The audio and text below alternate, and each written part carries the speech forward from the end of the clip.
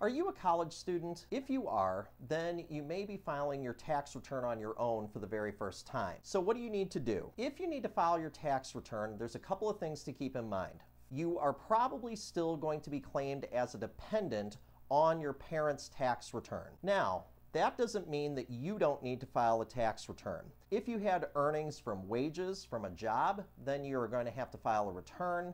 And if you had 1099s or other investment income, then you might have to file a return as well. Generally, you're going to file in the state where you, your permanent residence is.